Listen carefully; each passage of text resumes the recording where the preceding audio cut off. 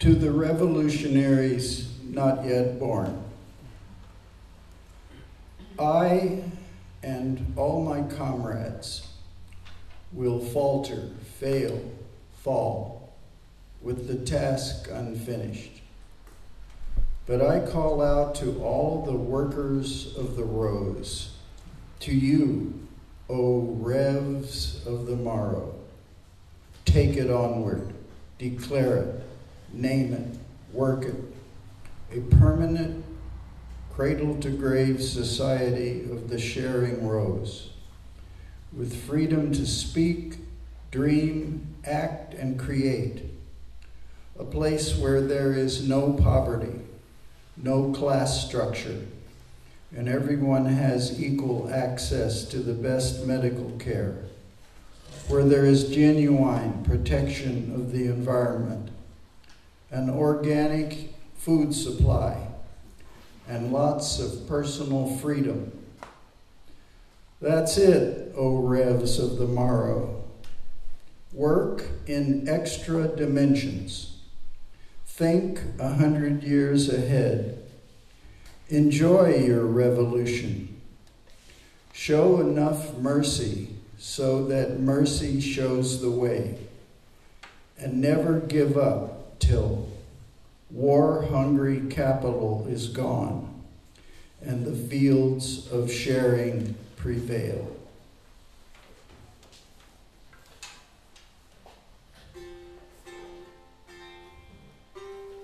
I was a founder of the Youth International Party, one of the founders, the Yippies. And uh, I took part in the riot at the Democratic Convention of August 1968, where the police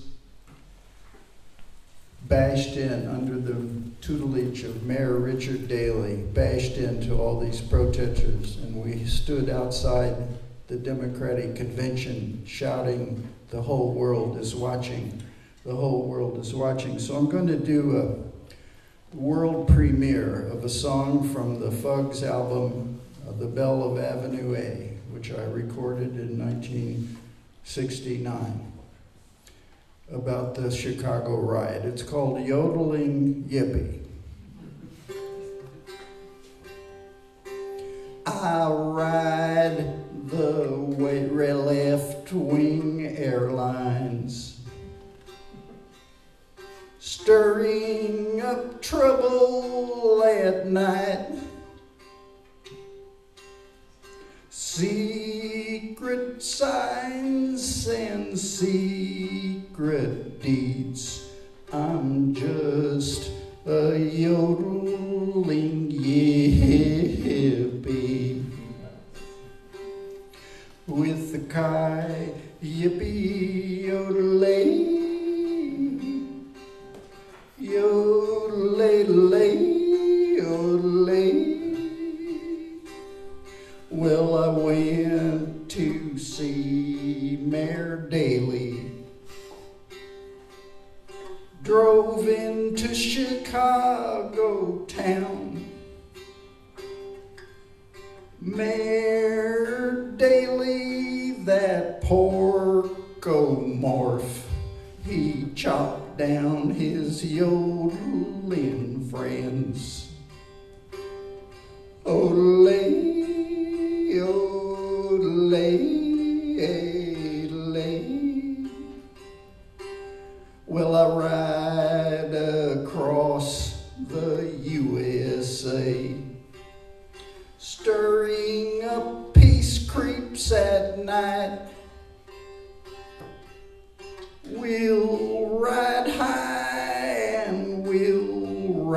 low.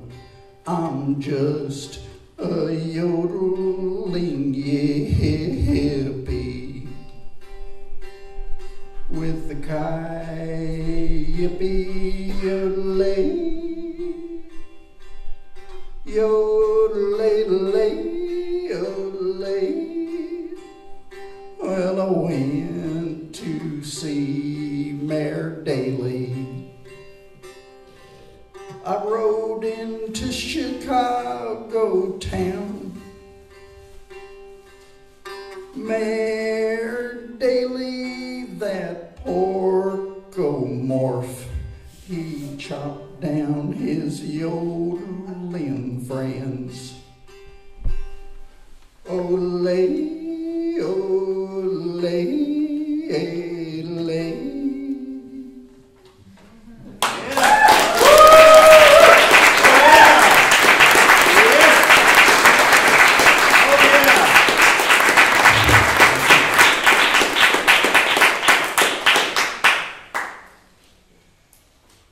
a paradigm of civilization. I call it broom poem. Bomb, then clean up. Strafe, then broom up. Laser, then swab up. Drone, then brush up. Hack, then pick up. The same back to Pork Chop Hill in Korea and then all the way back to 1000 BC, Troy layer 7a, and beyond. Yeah.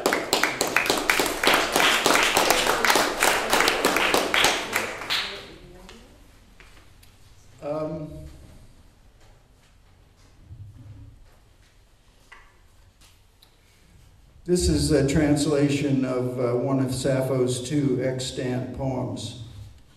Thanks to the depredations of the Christians and the Muslims, hardly any of Sappho poems survived.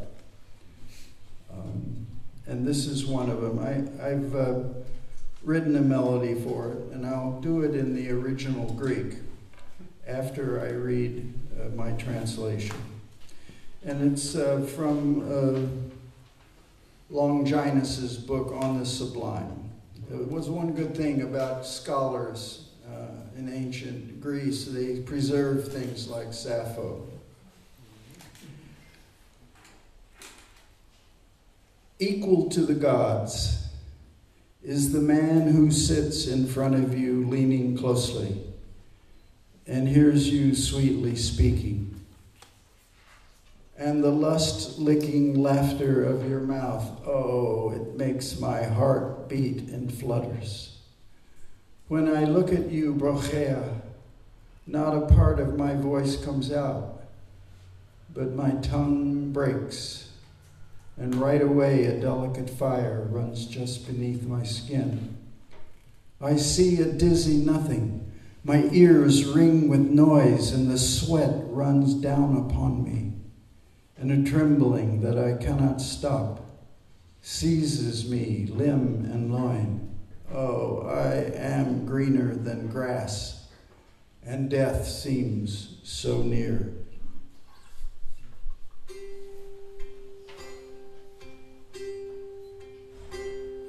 Fine tai moi kena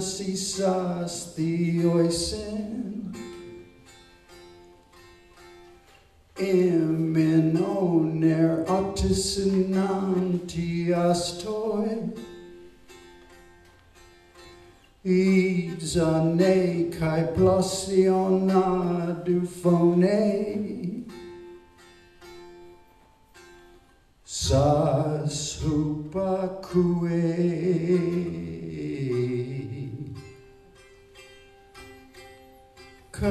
Kai galaisas imaro inta meimon.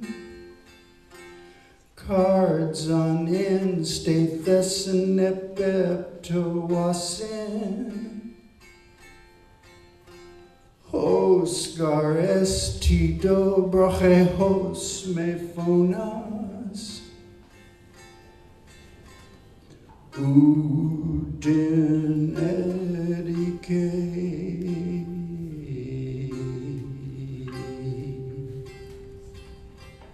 Sappho,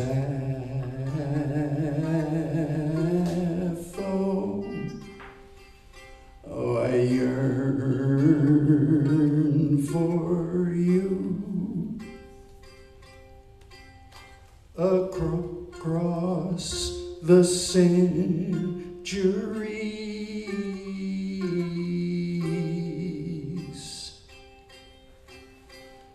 Allah age lepton Doughty cachro poor hupatedromakin O patesi duden orem piron Basi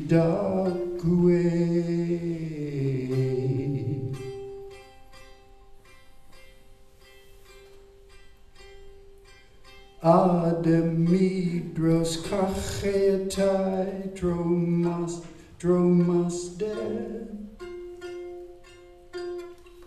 Doughty kachropur hupadedromakin O patesi duden orem pipiron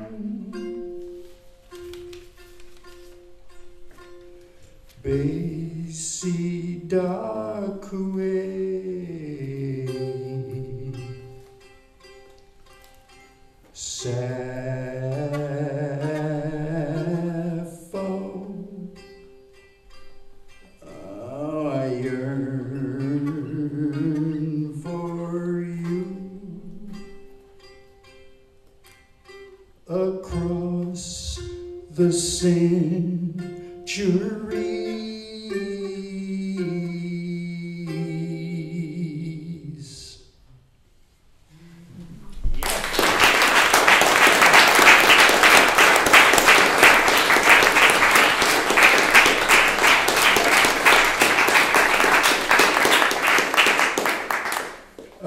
The first poem that William Blake ever wrote. He was about 11 years old, or possibly 13 years old. It's on his first manuscript, and it's a beautiful four quatrain love poem uh, that stood the test of time. It was on the first Fugs record from 1965.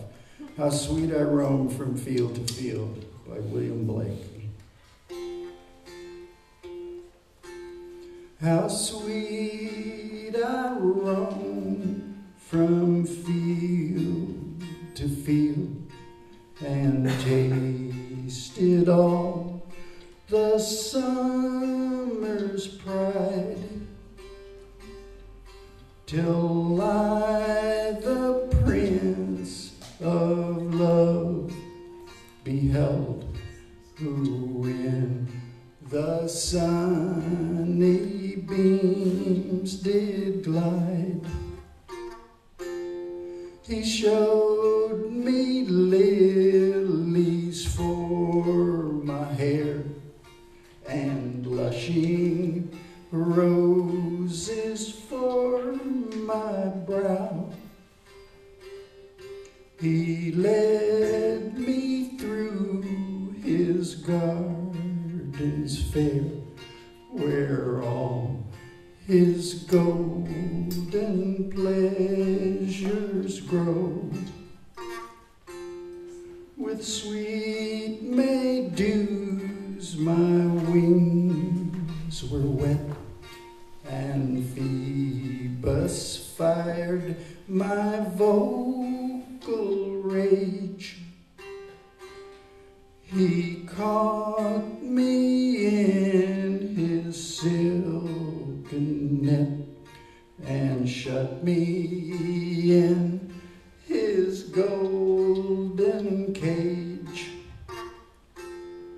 He loves to sit and hear me sing, then laughing sports and plays with me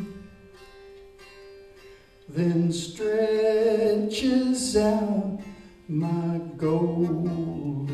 wing and mocks my loss of liberty.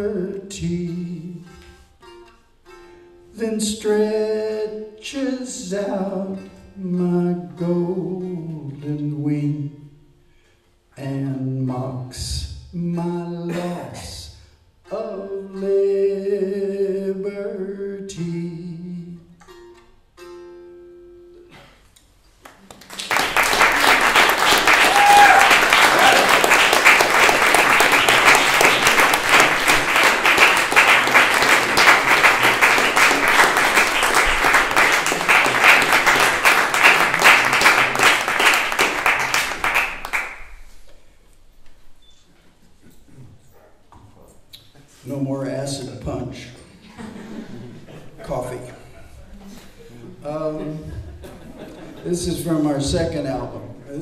inspired by a wonderful poem by my mentor, Charles Olson, Maximus from Dogtown 1. We drink or break open our veins solely to know.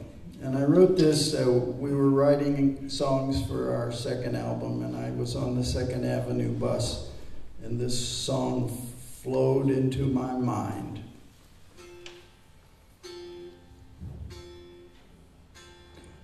We drink or break open our veins solely to know, solely to know, solely to know. Hunger drives me onward to feel all of the skin, all of the skin, all of the skin. The thrill of the knowing blasts me out of my brain. I want to know, oh, I want to know. Into our eyes Hundreds of flashes cause us to feel the life in the sky. Solely to know, solely to know. I want to know, I want to know. Please let me know. I have to know, solely to know, solely to know. Ah, into our eyes, hundreds of flashes cause us to feel the life in the sky. I want to know, I want to know.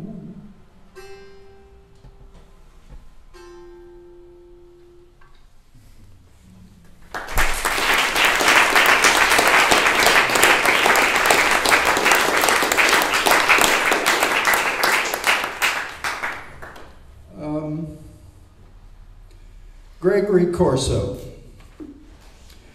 One of the first poetry readings I went to in New York City as a young uh, Greek student at NYU was at the Living Theater in 1958, I think it was, where Allen Ginsberg read, or was 59. He'd just written a Kaddish, so he read part of Kaddish. And Gregory Corso uh, yelled from the audience and made comments. And, and I thought, why is this guy? I really revered Allen Ginsberg at that time, you know. And why was this guy allowed to interrupt?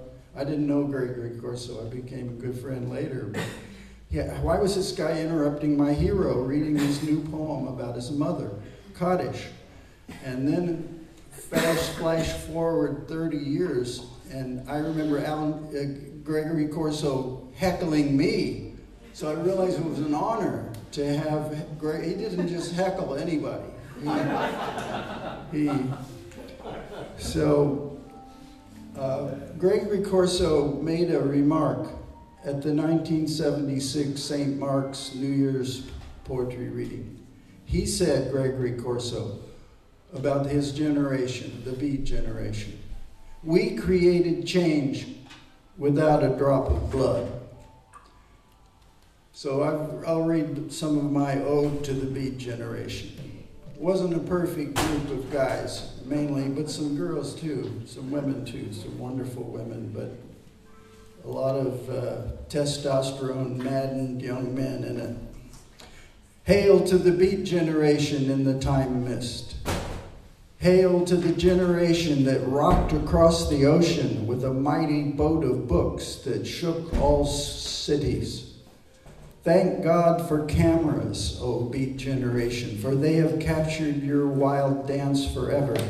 Thank God for mimeograph machines and inexpensive presses, for they have inked your final type. Thank God for the angels in your canvases, O generation. And may the candles in your, Chianti bottles light up heaven, O beats, and no one ever publish hell again. Thank God for your beautiful loss, O beat generation. Thank God for the concept of, quote, gone, unquote. They can't extinguish gone, no matter how hard they try. Sacred gone, eternal gone, fission gone. They can't explain the flame, they can't extinguish the flames in your sandals, O beat generation, and the Egyptian cold that outlines your wanton eyes. They can't extinguish the bongo drums at midnight on the Staten Island ferry in the waters of gone, or the crevices and wild appendages, insatiate from Moscow to Moravia to Memphis. The strands of time are like a baklava, O beat generation. So many layers and laughs and lines and loans. Creeley typing the stencils for the mimeographed version of Howl on Kenneth Rexroth's typewriter. Lawrence Ferlinghetti's left wing poems of people tired of repairing Ezekiel's wheel for a shot of whiskey. Di Prima typing revolution across the dead eyes of tyrants. The dueling, the dueling economies of Burroughs and Ginsberg, the broccoli swords of Corso and Gary Snyder, the art of the road and the art of the word is the art of the rose. We hear you, O beat generation, down by the sunny marsh, singing for 60 years like the frogs of Aristophanes. Ecstasy fondue, sax clover, tire sandal soup. And I've written a song for Gregory Corso's remarkable saying at the St. Mark's New Year's party. We created change without a drop of blood. Our generation our generation. We shall make enormous change without a drop of blood. No one can stop us. No one can hold us back. Kennedy or Khrushchev we shall change the world. We shall change the world. We shall change the world. We shall change the world without a drop of blood. No more slavery no more Ku Klux Klan. No more atomic bomb. And no more poverty. Without a drop of blood. Without a drop of blood. We shall change the world without a drop of blood.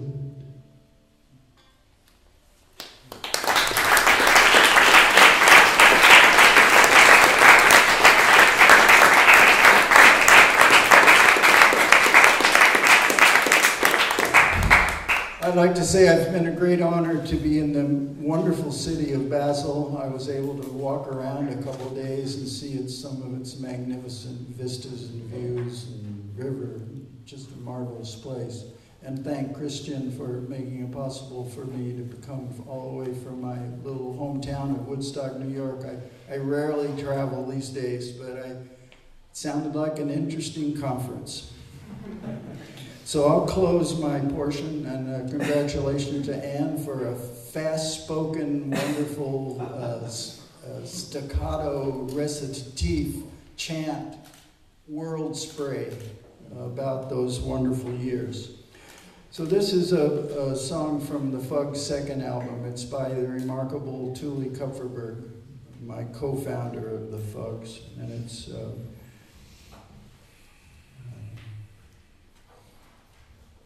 a marvelous, uh, sad love song. Morning. Morning, morning.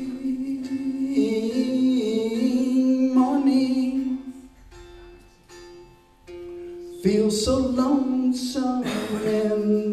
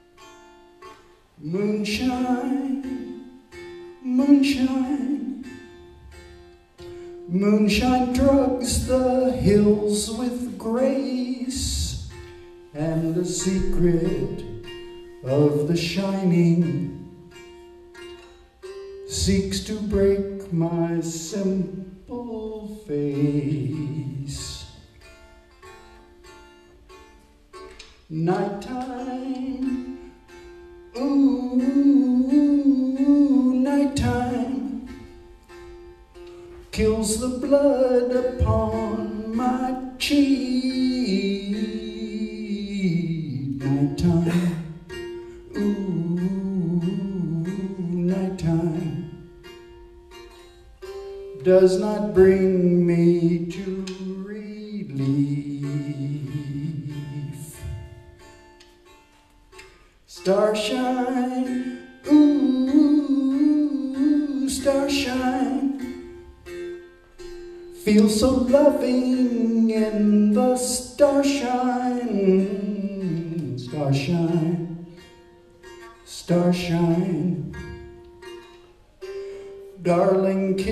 Me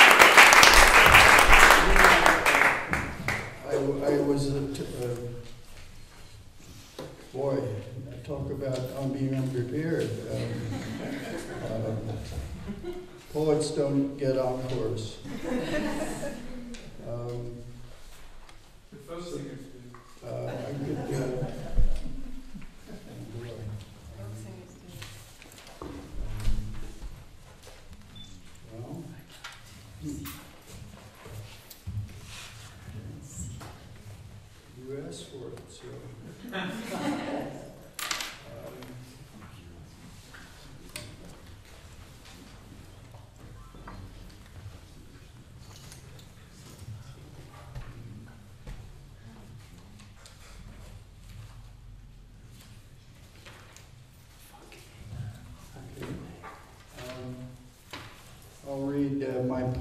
uh, uh, Tower. Uh, it's about at Holderlin's Tower, Friedrich Holderlin, his tower in Tübingen, Germany. And uh, I loved being there once, and the taxi driver told me about this broken-hearted poet a century before, living in this tower on the edge of the Neckar River. One of the most important German poetry. Huh? One of the most po- uh, uh, important poetry in Germany. Yeah. He is very, very good. Once by the Neckar, I stood next to Holderlin's tower. There, like a Greek myth or a universal truth, and fed the swans. I wanted to pitch a tent by the river and practice my recitations by the cistern of the muses. The banker Gontard in 1798 caught Holderlin and his wife Susette bawling. So Holderlin fled Frankfurt and began to flip out, though he completed his translations of Soph- Sophocles and nine odes of Pindar. At the same time, he was trapped in a dreadful cycle alternate depression and nervous irritability. Then to Tübingen, the summer of 1807, he moved, harmlessly crazy. He lived in the tower for 36 years till he passed on 1841. Friedrich, Friedrich, stay in your tower. The good folk of Tübingen still mention your sadness. They point to your house as if you were still there, even though it's been a century more since your lungs pulled in air. Gontard may have learned he was bawling his wife, may have caught them kissing, smoky with strife. There were angry words, and the poet was fired, and life wended onward, hopeless and mired. Holderlin, Holderlin, kiss your love in quickness now and then quick meetings as if Eros were a sickness. Did they fuck? Nothing in ink has survived. It doesn't matter much now, just sorrow contrived. More and more crazy in loveless ups and downs, looking for tutoring jobs in poetless towns, till he learned Susette had died from measles one summer, and all of the future was the moan of a bummer. He wended even more crazy after he lost his Susette.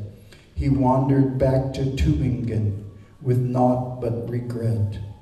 Then a well to do cabinet maker, then a well to do cabinet maker named Ernst Zimmer, who was reading Hölderlin's novel Hyperion and gave him a glimmer, invited him to dwell in that tall yellow tower, food, solace, and comradeship for poetry's flower. Sometimes he was out, sometimes he was in. Sometimes the universe has a clown face grin, writhing in sadness, dispersed with gladness, till for when a person truly knows, they call it madness. Look at the world, so caustic and cruel, poet against poet, drool for a duel. It's tempting to hide away from such fuel, a few lines when calm enough, and the sea's not so rough. Sometimes I pray for an endless hour, living in the upper room of Holderlin's tower. I'd stroll from the yellow in my snow in my snow time scarf with crumbs for the swans from the crazy man's wharf. Thank you again.